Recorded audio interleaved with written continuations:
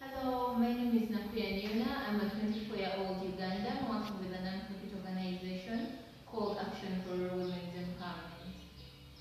Now, just as family planning is about people making choices of when and how to have children and plan for their families, universal health coverage embodies the same with a broader outlook on general health services.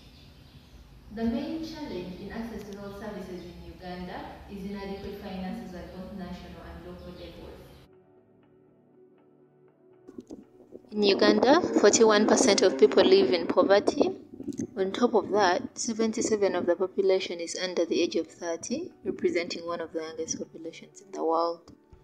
With 76% of the entire population living in rural areas and 73% of the workforce employed in agriculture, the financial burden continues to worsen owing to the large population dependency and the ever depreciating value in the Ugandan currency over the years.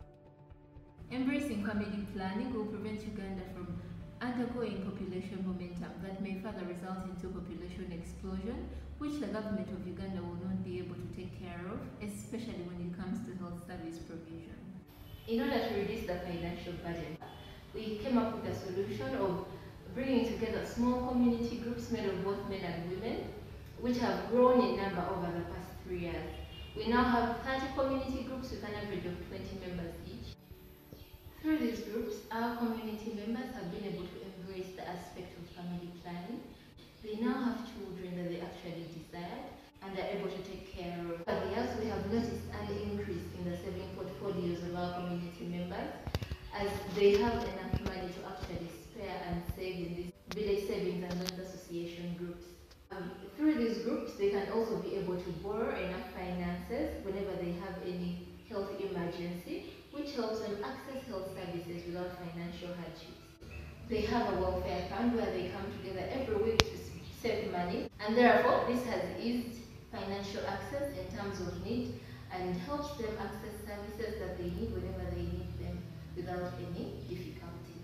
Not forgetting, a healthy population is a productive population and a population that will help us have a wealthy nation, which will easily attain a sustainable goal, number three.